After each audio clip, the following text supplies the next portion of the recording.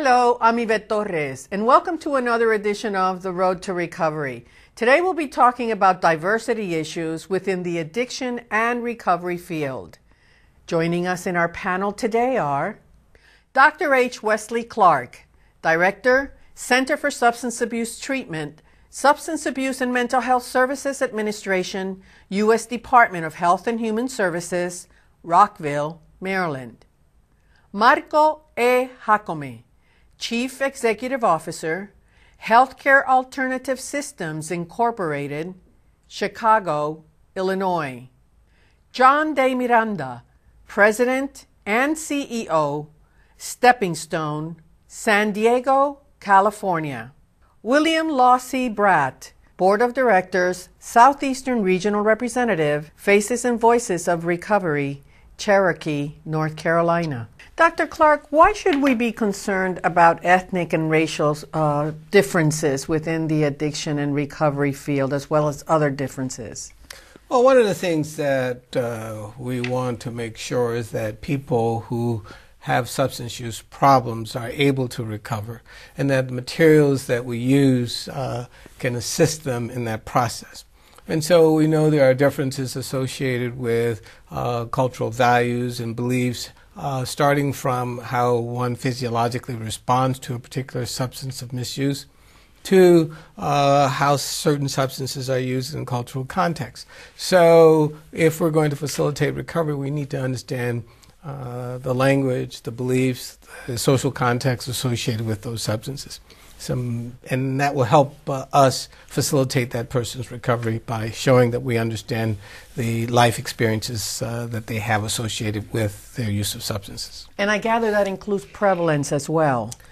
Well, yes. I mean, but from a clinical point of view, I mean, people look at epidemiologic data and there are differences in prevalence, but the key issue for the individual who has the problem, whether you have a low prevalence phenomenon, for instance, Asians tend to have a lower prevalence of alcohol misuse uh, than other ethnic groups, but imagine you're that person who has the alcohol problem.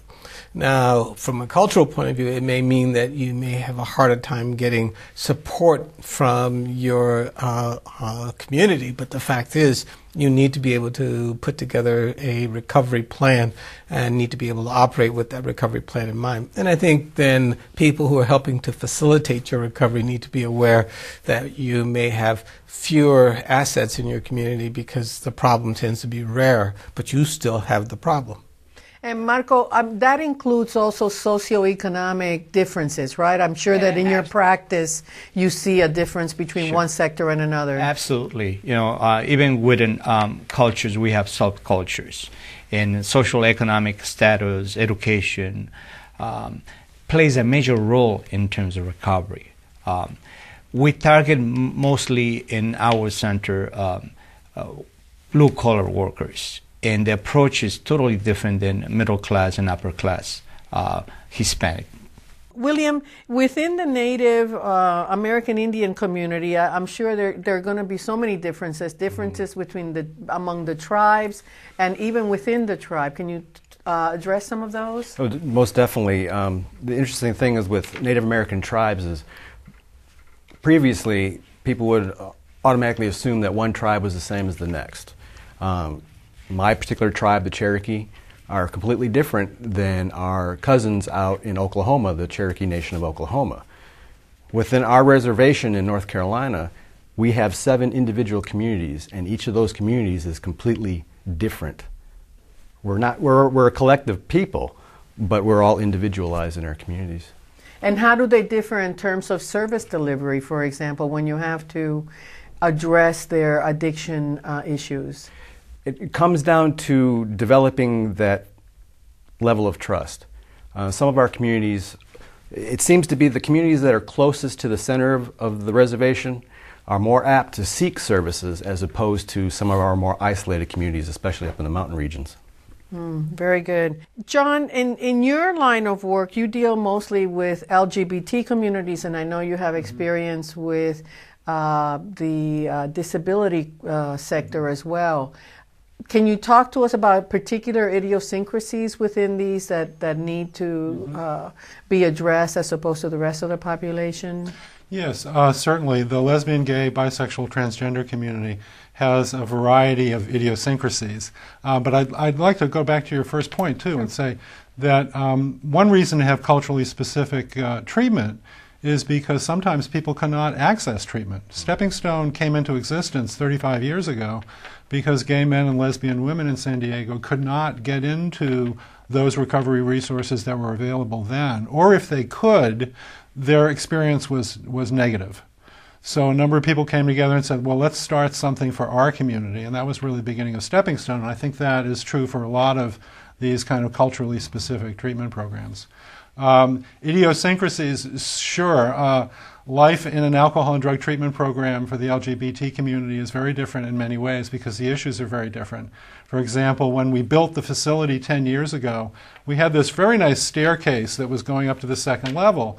And our uh, then CEO said to the architect, I want that staircase to look like a woman's high heel shoe. It does. And that's one thing that makes Stepping Stone different from other tre- treatment programs. So they adapted to their uh, aesthetic Yes, uh, exactly, preferences. Exactly. And the jokes are different, and the, the interactions are often very different, too. So. And I suspect that, that that makes a difference. I mean, when somebody walks in and, you know, even it's an icebreaker almost, Yes, yes. you know, for that. Yeah, the dynamics are very different. We have also transgender clients in our treatment program, which again change the, the dynamics, again, kind of like what Billy was saying, uh, William was saying. Uh, that the transgender community is very different from the gay community and the lesbian community, so we have to make accommodations for that too. Marcos? Yeah, yeah, it has been proven that uh, when you have uh, treatment culture specific, uh, enhance the ability to recover the individual. I'll give you an example in terms of the Hispanic population. We have a residential program where meals are prepared like home. Uh, you know, uh, it's not a cafeteria uh, meals that we prepare, but uh, we have cooks who are sensitive to the culture, and that really brings home to to a particular person who's in recovery and engagement. So so important for for recovery to be culture sensitive and, and ingredients that that enhance recovery and the support in in, in our environment of, of treatment. And I'm glad you mentioned the whole issue of culture sensitive. I want to go back to Dr. Clark. What does culture sensitive mean? And if, if, if someone is, is, is uh, listening to this show, uh, what, what does it mean to be culture sensitive? Well, we've heard from uh, our other speakers addressing the cultural differences, and the culture sensitivity means that the clinician, particularly, or the, envir- the recovery dynamic, recognizes that uh, a person's uh, life experiences have to be taken in consideration. So the idioms, the beliefs, the perceptions, the mores, all those things. So you may make an assumption based on your own culture that has nothing to do with this other person's life experiences. Uh, as was pointed out, food, for instance, is a often a cultural dynamic. And you can assume that here's a dish that everyone relates to, and it actually may be so alien to the person that you're trying to help that they don't understand what you're trying to, to accomplish. So, cultural competence is what we're trying to foster, recognizing the diversity of uh, cultural experiences. Uh, and in the substance abuse arena, what we're trying to facilitate is that recovery. And in the mental health arena, we're trying to facilitate that recovery. So, we need to take into consideration all those things, mores, beliefs, icons that affect that person's perception. And the clinician or the facilitator, if you're talking about recovery, needs to recognize that. We do have an advantage, though, when we talk about cultural competence. We know we're trying to facilitate the recovery from alcohol and drugs that's a common uh, motif that we can relate to. So whether it's um, an, an, aesthetic in terms of a, a, woman's shoe and a treatment program, you're still trying to um, facilitate the recovery of whether it's a gay, lesbian, bisexual individual, an American Indian, Alaska Native, someone from the Hispanic community, uh, white uh, from uh, Appalachia, you're still trying to facilitate recovery. So that is the, the one thing that we have in terms of cultural competence. And then we have to radiate out from that by bringing in all the other um, idioms and icons and beliefs associated with uh, substance use, but we're trying to achieve that. So that gives us uh, a good position uh, to start from. Very good. When we come back, I want to get more into really the uh, specifics among groups of what the uh, basically the approach should be for each one of these groups within the context of providing services. We'll be right back.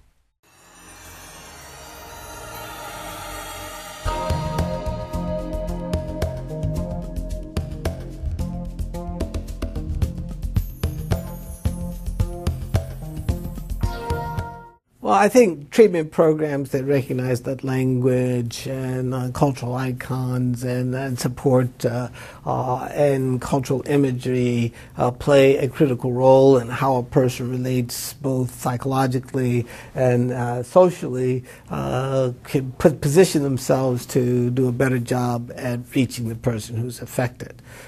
so one size does not fit all, but the strategy is one of welcoming and incentivizing through uh, uh, environmental and social and psychological support. So whether you're in a Hispanic uh, social organization or an African American social organization or a gay, lesbian, bisexual, transgender social organization, that's not the issue. The issue is, are you having a problem with alcohol and drugs? And if so, does your social context acknowledge that there are those problems and does it embrace recovery as a construct? Because that's the other thing we want to uh, push is social support for being in recovery.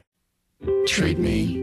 Treat me with understanding. Treat me Treat me with courtesy. Drug and alcohol addiction is an equal opportunity disease. Individuals in recovery come from all walks of life and deserve to be treated with respect and admiration for winning one of the hardest battles there is. Treat me without judgment. Treat me with humanity. Alcohol and drug addiction deserves proper treatment. For drug and alcohol information and treatment referral, call 1 800 662 HELP.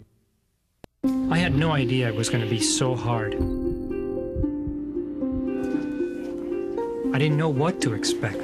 You hear the stories, but I never took any of it seriously until I found myself here. And then I realized I was going to have to work hard for my recovery. If you or someone you know has a drug or alcohol problem, you are not alone. Call 1 800 662 HELP. Recovery was the hardest job I ever had and the most important. Brought to you by the U.S. Department of Health and Human Services.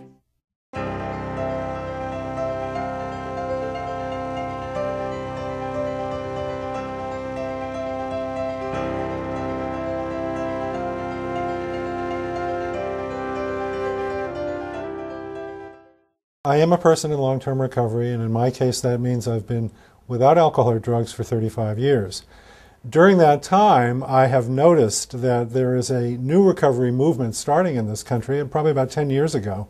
And I've gotten very involved in an organization called Faces and Voices of Recovery, which is a leadership group within that movement. Uh, it's been very exciting to see that more and more people are coming out of the closet that reducing stigma, reducing discrimination, and kind of normalizing recovery uh, is what's happening in this country. It's very exciting to see that, having a long, longer term perspective that goes back 35 years when everybody seemed to be in the closet back then. Dr. Clark, I know that we've talked a little bit about certain aspects of diversity. One of them is gender, and I know that SAMHSA has a program that is targeted to women and children and pregnant postpartum. You want to talk a little bit about that? You're correct when you uh, uh, mention that gender is an important part of uh, cultural uh, dynamics and cultural com- competence. One of the things that we recognized uh, a long time ago was that uh, we needed to make sure we had some gender specific programming. And that also included programming that allows women to bring their children into the treatment environment and uh, to allow women who are pregnant uh, to to deliver in the treatment environment. It works uh, to their benefit, and it also reassures the larger community that that woman who has an alcohol or drug problem will deliver a child who is free of alcohol and drugs. So that reassures the community. It also gives that woman a, a, a greater sense of uh, personal dignity and responsibility as a parent uh, because we're dealing with powerfully reinforcing psychoactive substances. And many times, when uh, people have uh, the responsibility for children but who have addiction problems, they're unable to uh, maintain the necessary balance. By having support, they can achieve that balance. So we fund a number of programs that offer a continuum of, uh, of uh, support uh, the acute support uh, during the time the woman is pregnant to when she delivers. Uh, also allowing, um, in some programs, up to five kids to be uh, brought uh, into the therapeutic environment so that the mom can continue with her uh, treatment. And one of the other things that we're doing is also bringing in uh, fathers uh, into the calculus. Sometimes the, the father or the uh, uh other parent has a substance use problem, sometimes they don't. But we're able to make sure that the um, mom and her child are safe and then the uh, co-parent uh, who is interested in being in the life of the mother and child is able to do so so that we give the child the best support possible at the same time helping the mom in her recovery. So uh, these become very important strategies to help facilitate because gender is important, parenting is important, and the social expectations. Many of these women feel that they're less than because they have an alcohol or drug mm-hmm. problem, and then sometimes they're judged harshly by the community because they're, well, why does it, if you're pregnant, you just don't stop using? Well, these are powerfully reinforcing psychoactive drugs and, and psychoactive substances, so you need some uh, in a, an environment environment where you can facilitate stopping use of these substances. You can't just uh, automatically stop for many women. So these programs offer that. One dynamic of, of the, that program is that I thought was extremely helpful uh, was that you teach the mothers to be better better mothers. You teach them parenting skills, and while they're, as you mentioned, working with the children to adapt better to a family situation, even though they may be single mothers, but it, it helps them to adapt. And Marcos, in terms of your your program with the Latino community, I suspect that you have similar approaches. Absolutely, gender specific is, is so crucial because let's just talk about a woman's uh, different issues than male population. Um, in our center, um, you know, women uh, comes for an outpatient, and and and it's uh, the issues that they bring to the table is totally different than male population. Um, so I encourage programs that even though limitations of resources might not be there, to have gender specifics because women's issues with being a mother, being a, a, a wife, being a good parenting has a different connotation than a, than a male population. Um, so um, you know, um, also the issue of uh, of uh, again feeling um, as a second citizen, things that bring up the um, they're never being given the respect uh, at home to be a good mother to to address issues that they might have feelings instead of uh, especially in the Hispanic population because they the male uh, issue of machismo uh, bring you know a lot of um, issues with a woman in terms of not being felt respected and be wanted, and especially with addictions. and I suspect that if, if programs were looking for not only what you have mentioned in terms of adapting programs to Latino communities, but also to really, we haven't really talked about checking uh, and I don't want to create a stereotype while talking about diversity, but really checking, having talked about the machismo, checking for other factors such as the, the domestic scene and making sure, you know, dealing with issues of co occurring issues or domestic violence. Is that appropriate? Absolutely. That's Absolutely. definitely appropriate. Yeah, in, in our center, we have a co occurring mental health and substance abuse and domestic violence and, and substance abuse. Not, not everybody uh, has suffered those conditions, but you have to be cognizant in terms of be aware of that, especially in the Hispanic population. And, and William, yes. yes. Yeah, I was going to say with, with the Native American population, unfortunately, domestic violence is very, very high. So gender specific programs are fundamental to the healing process. And um, it's just it's just amazing to see on my particular reservation that 99% of the domestic violence situations are alcohol related. Wow, that's, that's, that's very high. high. Very, very, very high. high. Yeah. What other factors within the, the uh, Native community should uh, other programs be aware of? As far as cultural sensitivity? That's correct. It's been my experience on, on the reservation I went to the reservation in 2000. I, I was raised in the city. I'm what you would call an urban Indian. So my upbringing was completely different than reservation life. So when I returned to the reservation in 2000, I was an outsider. Even though I was a Cherokee Indian and an enrolled member, I was an outsider because nobody knew who I was. What seemed to work was when I started learning about them. Not saying, oh, I'm one of you. Learning about them, sharing their experiences, talking to them about their families. That's when they embraced me. And it's been my experience as well with counselors um, or clinicians that come from the outside, well intentioned, big hearts, but don't take the time to get to know their client. You know, they, they, they move right into the disorder and working on the mental health issues, but don't take the time to know the person.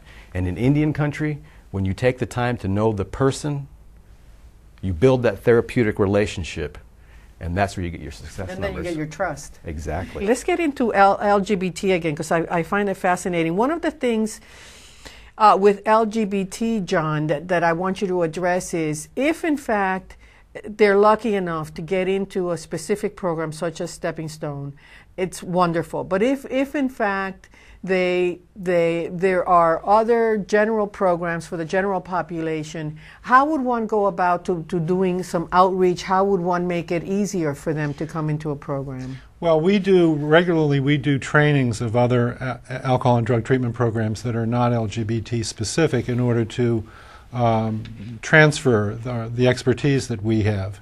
And it is very specific. Uh, getting back to treatment adaptations, we learned a number of years ago that a number of our clients were relapsing because of the sex, the high risk sex drug link when they would come out of treatment. So we designed a program during our treatment episode where we address very directly high risk sexual behavior and the relationship with drug use.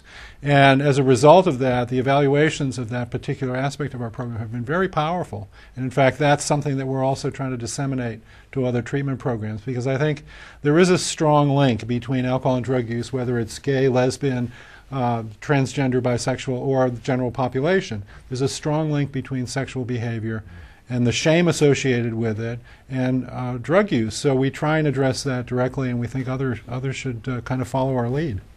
And when we come back, you know, one of the things that I also want us to share is uh, co-occurring issues within special populations and also issues of other health concerns such as HIV AIDS and, and Hep C. So we'll be right back.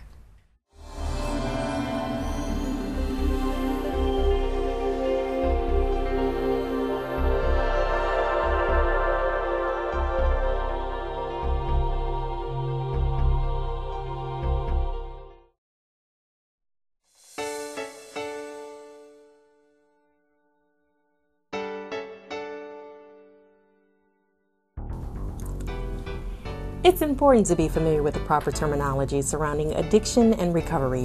One of the terms you'll want to be familiar with is continuity of care. Continuity of care describes the continuum of care, including pre treatment, treatment, continuing care, and ongoing support to sustain long term recovery. Continuity of care provides individuals access to a full range of stage appropriate services at any point in the recovery process. For more information on this and other recovery jargon, visit the Recovery Month website. Where's Mom? Did she forget me? I wonder what happened to her. What if I get left here? Drugs and alcohol may make you forget your problems for a moment, but that's not all you forget. My mother worked hard to be in recovery, and I love her for that. For drug and alcohol treatment for you or someone you love, call 1 800 662 HELP. Brought to you by the U.S. Department of Health and Human Services.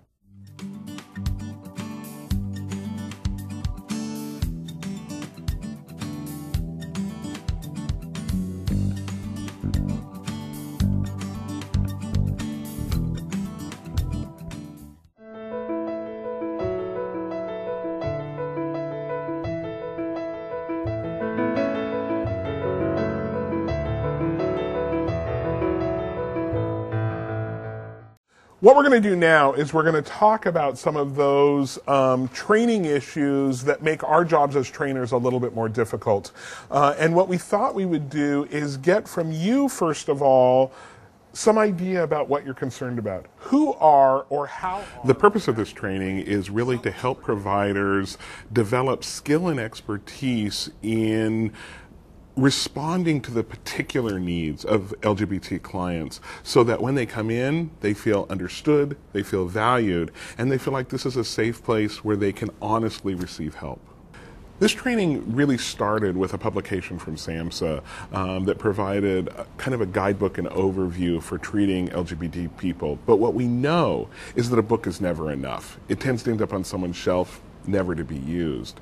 And so a small group of people started doing training in this area. We recruit participants from around the country, experienced trainers. We bring them in. They spend about two and a half days going through the training. Uh, they're led through the various uh, modules of the curriculum. Uh, and then during the second and third day, the participants themselves actually do teachbacks on the curriculum. I was very pleased to be able to come and take this training. I participated in the original um, book the training is based on, but this is a way of translating that information into something that people can really use. That's much more live, much more interactive, and I think much more effective that way. And I needed to have some help with those skills, how to do that. By participating in this training, addiction counselors will be able to continue to do all of the good work that they do in providing addiction treatment. Uh, they generally really have the foundations of that. But what they need is a way to address those same issues in a culturally sensitive and culturally appropriate way. This training is really designed to help them do that. Well, I hope to take back a sense of urgency that we should work on LGBT issues and that issues of discrimination really impact LGBT individuals. I think coming to the training, I bring a lot of passion for the subject, but it's easy for the passion to sometimes turn off other people who may not share my views on this subject. So it's helping to create more effective advocates. Well, when you're dealing with the lesbian, gay, bisexual, transgender population, you have to be aware of the unique culture that people come from and also the discrimination and stigma they've suffered, all of which can contribute to substance abuse as well as to relapses in treatment. And those pile on other stigmas and discrimination that people face. And you have to understand the whole gamut of identities that people bring. And this is a very good place. The training helps you do that and then help to translate that into a treatment approach. I also find that depending on the nature of the room, when you can walk around the room, it's a great way to make that connection with someone. Yes, I hear you. Get right up to them, and at the same. Time, I think there's some obvious positive results, such as a unified curriculum that's being offered, um, improving clinical skills for many clinicians, making the training available to other parts of the country where this type of training has never been offered. Um, but I think ultimately the long term and the real goal is that we're actually saving lives. Being able to have federal support, both financially and ideologically to get this into a national network like the ATTC network is crucial for this to be adopted in Main Street treatment centers. My hope for this training is that every client can receive the treatment that they deserve and feel like they're respected and valued in that context. People come into addiction treatment in general with stigma and shame, feeling bad about the behaviors that they've been involved in. When you add the stigma and shame um, that are often felt by the LGBT people living in this culture, it becomes even more complicated. I want them to know that they're valuable. I want them to know that they deserve the same respect. Dr. Clark, we were talking about, John was talking about complicating factors in terms of health challenges that, that may present at the time of intake for uh, some uh, special population individuals. Can you address, continue to address that? One of the things that we at SAMHSA are stressing is that every person who has a mental health issue or substance use issue needs to also get a good physical health assessment. Mm. One of the things we know about uh, the misuse of alcohol or drugs is that it does have an effect on the organic integrity of the body. So you may get liver disease, you may get gastritis, you may get heart disease. You, you're at greater risk for various infections like hepatitis C or HIV. And we want to make sure that anybody who is on the course of recovery uh, has as much information as possible. Uh, there was one quote uh, I read uh, recently, and guy says, "I spent all this time using alcohol and drugs and shooting up, et cetera, et cetera. So I finally get into treatment, only to discover that I have hepatitis C. Mm. So we want to have that as an integral part because that becomes part of the cultural dynamic, and especially from a religious point of view, because you start feeling that you've been you know visited by God in a negative way, because after all, you finally get your life on a proper course, and boom, you've got to deal with either HIV or you got to deal with uh, hep- the, the hepatitis. And when you're dealing with um, uh, that that becomes an important part. And the other factor is in that sort of I've been doomed by uh, by God is also age. As uh, you get older, your body responds differently. And what we're finding epidemiologically is that we've got a whole cohort of baby boomers who mm. are flirting with marijuana, prescription drugs, other substances, uh, the misuse of alcohol, because they still think they're um, 25. And they have disposable incomes. and they have the disposable no, incomes it's, associated with that. And so we're finding there's been this uptick in, uh, in uh, use of marijuana and, and other substances. So we need to have treatment programs and providers and people who, who are recovery facilitators understanding that you're dealing with an older population as well as you got to deal not only with young people, adolescents, and young adults, but you're now dealing with baby boomers who are um, entering a seniority, and so uh, that uh, is an important part. And then when you look at it from a cultural point of view, particularly in cultures where age commands respect, mm-hmm. the person who has the alcohol drug problem is in a conundrum because they're an elder. If it's you're dealing with uh, in, in tribal context, mm-hmm. they're someone who uh, uh, is uh, experienced or who um, is seen by younger people as a person of great respect, and yet they're struggling with their own alcohol and drug problem. so, and, and so really, that becomes an issue. When we're talking about at-risk behavior, we know that it exists among the and is prevalent among the general population. But when it comes to special populations, it's almost something that people really don't stop it, it, it uh, to to address as much. I, you know, because it's uh, there's a certain amount. In particular, you mentioned the the seniors. There's a certain amount of more freedom now to start dating again. And, and so I suspect that there's a lot of HIV worries because HIV, even though we think that it's, you know, has been taken care of, it's, it's I think it's showing its ugly head again. So, so you know, from um, our treatment approach, we, talk, uh, we take the uh, public health approach, which uh, only person uh, not only being looking into addiction, but what is the other conditions that might bring um, especially with uh, uh, the Hispanic population. Um, uh, the socioeconomic uh, part plays a major role because uh, people who be in addiction haven't seen the doctor for for, mm-hmm. for years. So um, you know, primary health is a big issue with us. Um, when they, they're doing recovery and they find out, oh my God, I haven't seen my doctor. Now I'm scared to see what else is the condition I have. So um, it's important to address. It's important to address uh, not only, you know, from, from the addiction perspective, but also the primary health and housing, education, all areas of life. Because recovery means that you're changing behaviors in all areas of, of, your personal life. And I'm glad you mentioned recovery. Um, Faces and Voices for Recovery provides um, uh, an individual an opportunity to join others and to figure out ways to support each other and to sustain recovery. And we haven't gotten to the fact that once we do get a person to go into recovery, that there's also a need for either a mutual support group or some other type of activities within the context of uh, ethnic and racial and other uh, special populations. Mm-hmm. Uh, what is important to keep in mind in terms of a person that is in recovery in order for them to sustain their recovery? Well, in order to sustain recovery, as we all know, a mutual support network is, is vital. And from a tribal standpoint, it's community support because unfortunately, what Faces and Voices, what we're striving to do is continue to battle the stigma and discrimination that people with an addiction continue to face. Well, in Indian country, it's almost twofold. Um, you have still the struggling addict is criminalized. And when they get into recovery, if they have a mutual support network and the community embraces them and continues to nurture them on their recovering journey, they're successful. But it's, it's important. I mean, you can go to, I'll use a personal example myself. When I sat there and um, having been raised off the reservation, I had tried traditional 12 step meetings, um, counseling, inpatient, outpatient.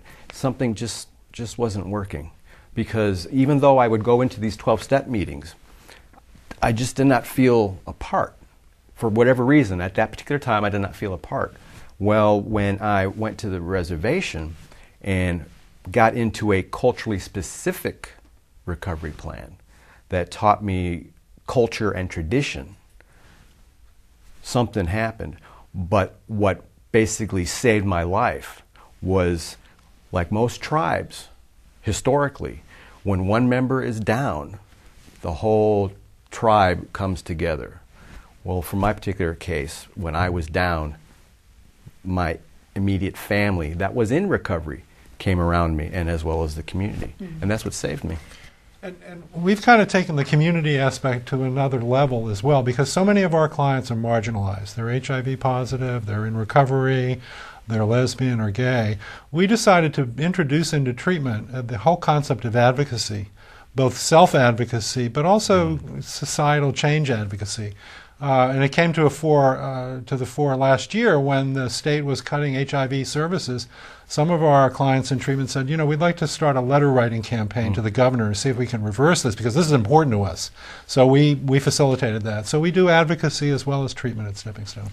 One of the greatest things I think that from the federal government perspective has uh, taken an approach not only that uh, the treatment is one of the ingredients for recovery. Um, so many doors for recovery. And um, creating an ecosystem in our communities, making responsible communities that, you know, recovery is important and that the person who is in recovery to feel part of the, of the ecosystem, the community. And, and that is a great thing. I think that now the emphasis is not only treatment is important, but what happened after treatment. And that is the federal government, um, one of the blessings that they have done. But I think we need to disseminate it to uh, a state government. It still is not happening. They're paying for treatment, but what happened after treatment? They're so not paying for the they're recovery. Not paying for they, the don't, recovery. They, don't, they don't see the outcomes. And I don't, I don't think they're paying, but I think we have to uh, create these ecosystems in our community, make them part of the, the, the community is responsible for the individual to support and to access all the areas that they need in well, terms Marco, of I know you're recovery. very good because I've been to Chicago to some of the Recovery Month events, and they're they're very well attended. You know, you get almost 200 people in a room to recognize those that, that have graduated and those that have been in recovery for many, many, many years. And it's growing. Actually, the last time we were, were probably three years ago now, we have about 500 people who uh, celebrate in terms of acknowledging uh, their recovery uh, mm-hmm. uh, and the years. And we do the walk also recovery, you know, whole bunch of organizations we get together and things like that. But Dr. Clark, I think it has to go beyond the Recovery Month. I mean, Recovery Month is fantastic and, and we certainly support it, but really, uh, what do ethnic, racial, and, and, and special populations need to be cognizant of that, that maybe they're not yet? Well, I think, as with any population, what we're trying to foster is this understanding that we're dealing with powerfully reinforcing psychoactive substances when we talk about the misuse of alcohol, when we talk about the use of methamphetamine, cocaine, heroin, uh, prescription drugs, and that the person who is at risk is anybody in the community. So, from a prevention point of view, you understand that, uh, and from a recovery uh, oriented point of view, it's not just the individual who has the, the, who is the beneficiary, but that individual's family, which is very important, especially when you're dealing with uh, uh, racial and ethnic groups. Family becomes very important. So the family benefits, and then the community as a whole, as was uh, William was pointing out the community not only uh, contributes to the recovery of the individual who has the alcohol and drug problems, but the community benefits from that. Because with regard to the substance use, that person who is now in recovery can give back. Uh, it can function as a role model for young people, young adults, adolescents who are struggling with alcohol and drugs and the pressure to use alcohol or, or, or drugs and that person is able to give back and then uh, rallies around. So the cultural dynamic is very, very important. So recovery as a cultural motif is very, I, I like the whole notion of the uh, recovery ecosystem, a recovery-oriented environment which allows everyone to participate, not just the person who has the alcohol and drug problem, but that person's family and that person's community because the beneficiaries go well beyond the individual. And when we come back, we're going to continue to chat about this. I'm going to come back to you, William. And we're also going to get into, you mentioned something very interesting that I think we need to cover. It's the whole issue of prevention. We'll be right back. For more information on National Alcohol and Drug Addiction Recovery Month, events in your town, and how you can get involved, visit the Recovery Month website at recoverymonth.gov. People trapped by drug or alcohol addiction often feel like there's no hope, no way out. But for every lock, there's a key. And if you have a problem, it's good to know there are real solutions to help you get free. For drug or alcohol treatment referral for you or someone you know, call 1 800 662 HELP. Brought to you by the U.S. Department of Health and Human Services.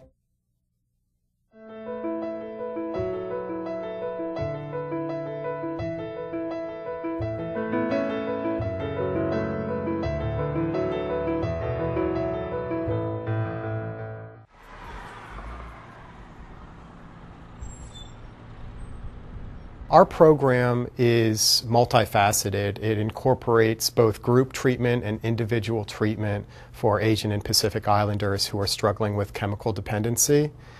Um, we use uh, we use incentives to keep people motivated in treatment, and uh, we use both sort of informal and formal uh, interventions.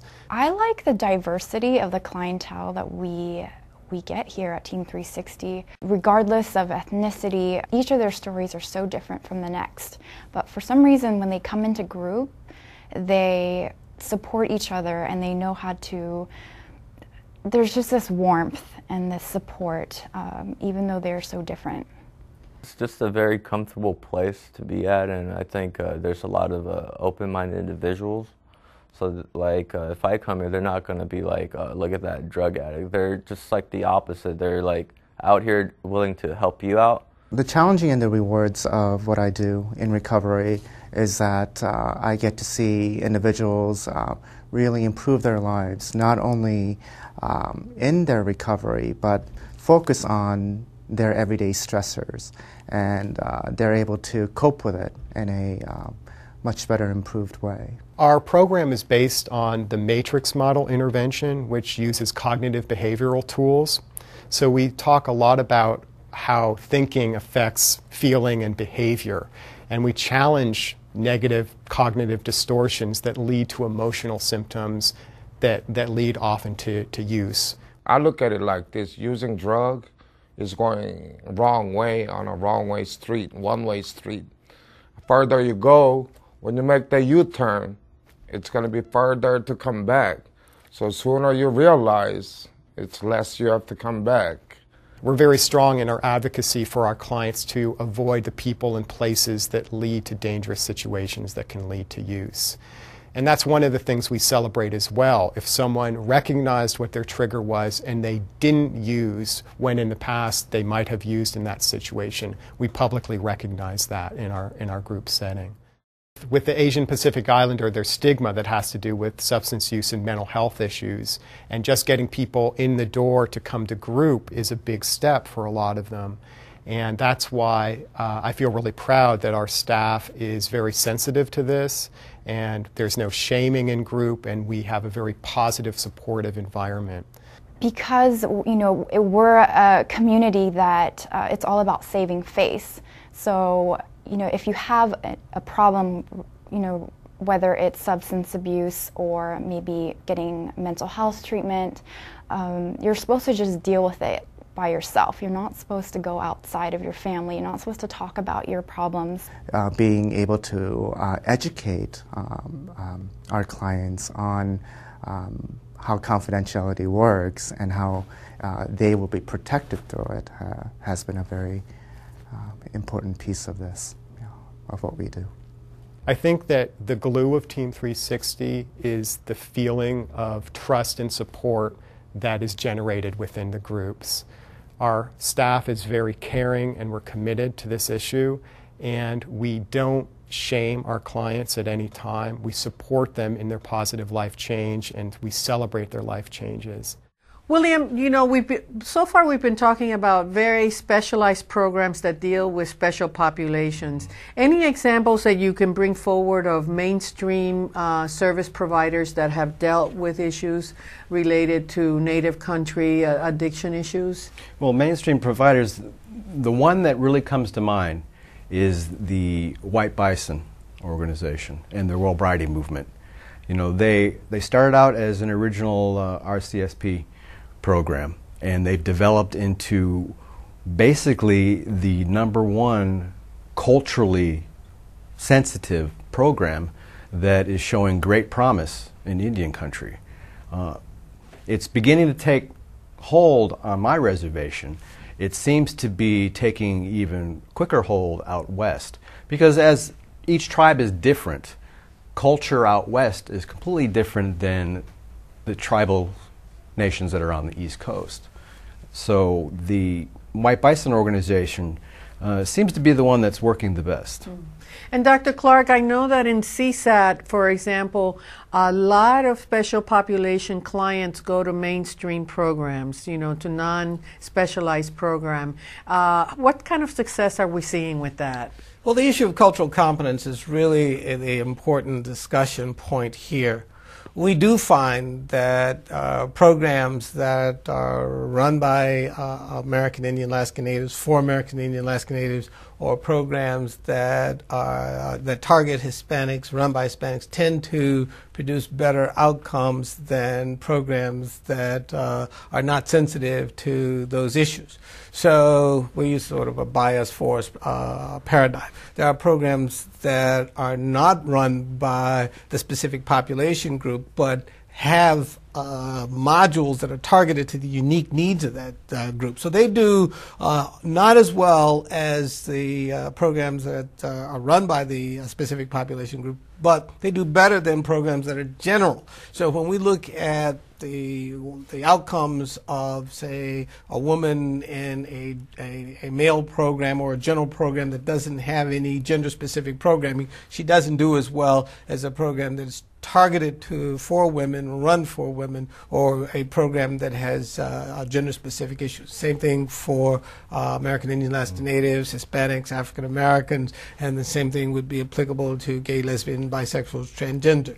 The key issue is of cultural competence. And that's the theme that if indeed you uh, know you've got a diverse population, you want your practitioners, your facilitators to be aware of some of these unique issues. And moving prior to the person even getting a problem on, uh, as we uh, address again the whole issue of prevention. Uh, are there some idiosyncrasies, going back to that word, of uh, special populations that folks need to be aware of, you know, in terms of the viewership, in terms of what the types of programs that they get their messaging from, even the whole notion, as you were mentioning, John, of using the individuals that are in recovery to go out in the community, right? I think you were mentioning yeah, we, that. We have an amends uh, part of our program where people make amends. Uh, that can commonly look like uh, distributing bags of lunches to homeless populations. And that's when prevention comes in because that person receiving that lunch bag from one of our clients as part of their amends project is, is maybe talking to somebody that they knew on the street. Mm-hmm. And they're seeing that this person is in recovery and that it's possible, and there's your prevention. Uh, also, with our population, prevention has to take place in the bars in the baths, in the clubs, and in the raves. It has to be out there in the community.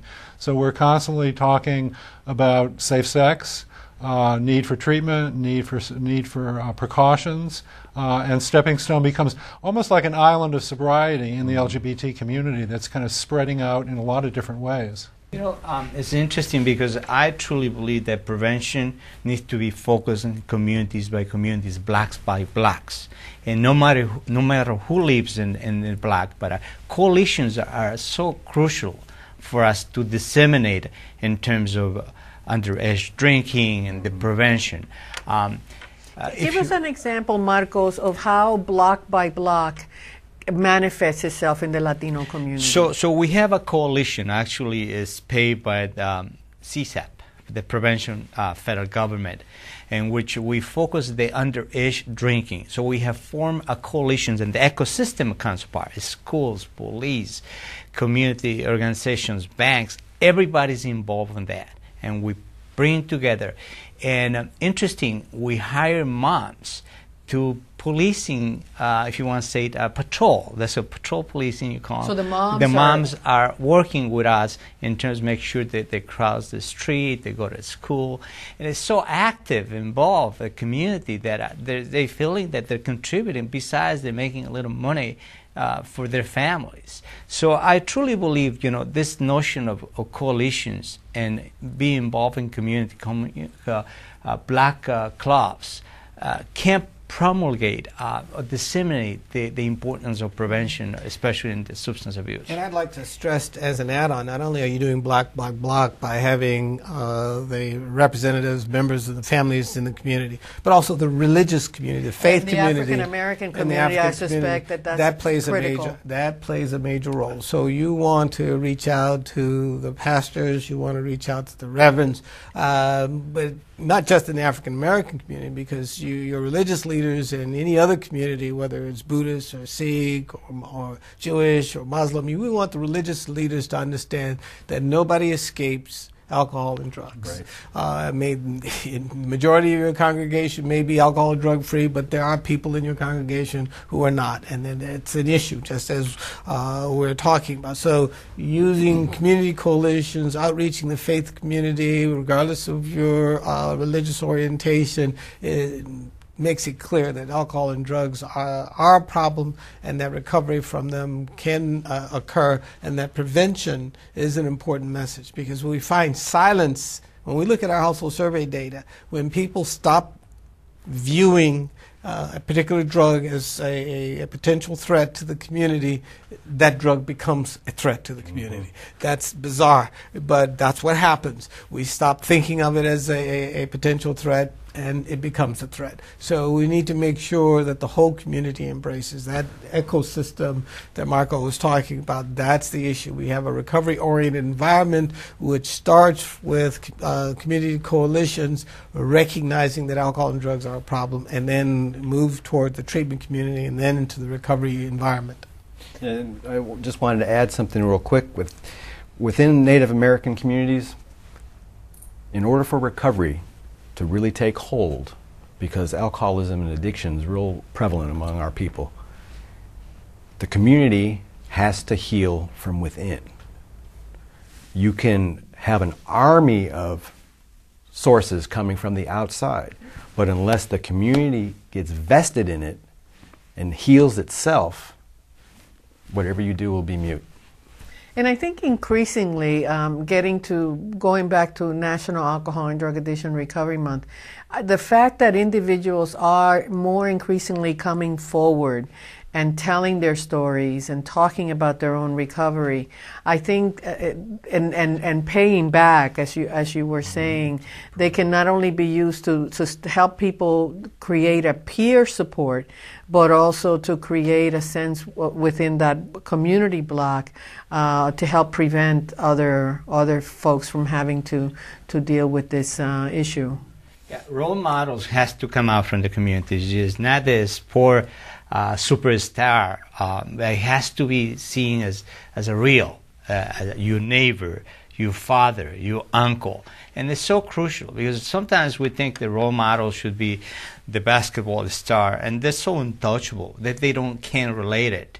But uh, if we created these role models in terms of your family, your, your teacher, your pastor, um, that will be very successful in terms of disseminating and and kids look up to you know the role, good role models that we have created in our communities. And that's and that's why drug courts are very important. You know, alternatives to incarceration, they're very important. In Cherokee, the, the Cherokee Drug Court, what happens is when you have a graduate, they come back and become a mentor to the rest of the defendants. And being in a small community like my reservation, chances are they use together. So when the one that's new into the court sees their party buddy being clean and sober, working a good job, clean, it works. They like, well, how did you do it? Well, I'll tell you about it. Mm-hmm. This is how I did it. And it's sort of like that peer and networking. Dr. Clark, you wanted to add something. Yes, I, and that becomes important. The uh, criminal justice system, uh, law enforcement, the judges, they, uh, we need to see them as an integral part of the community ethos and the mores of the community so that uh, we get all aspects of the community working together in harmony, that ecosystem again. Mm.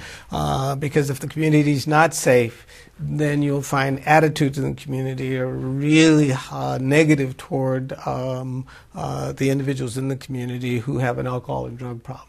So we want to make sure that it's not only a good public health message, but a good public safety message. And the drug courts are a good model for achieving that, demonstrating that an individual who has an alcohol and drug problems, who may have violated the law, uh, but who is non-violent, uh, can uh, uh, restructure their lives in a way that benefits not only themselves, but their family and the larger community.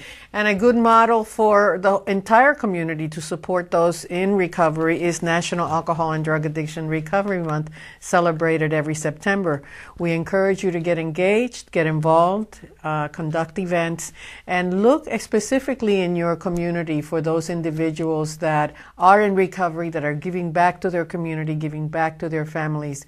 And we want you to laud them and applaud them because they have done a tremendous amount of work to get where they are and to overcome addiction. I want to thank you for being here. It was a great show. For a copy of this program or other programs in the Road to Recovery series, call SAMHSA at 1 800 662 HELP or order online at recoverymonth.gov and click Multimedia.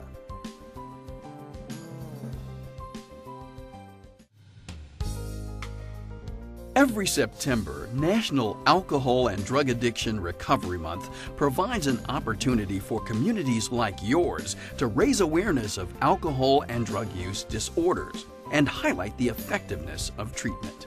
In order to help you plan events and activities in commemoration of this year's Recovery Month observance, the free Recovery Month kit offers ideas, materials, and tools for planning organizing, and realizing an event or outreach campaign that matches your goals and resources. To obtain your copy of this year's Recovery Month kit and gain access to other free publications and materials related to addiction treatment and recovery issues, visit the Recovery Month website at www.recoverymonth.gov or call 1 800 662 HELP. It's important that everyone become involved because addiction is our nation's number one health problem and treatment is our best tool to address it.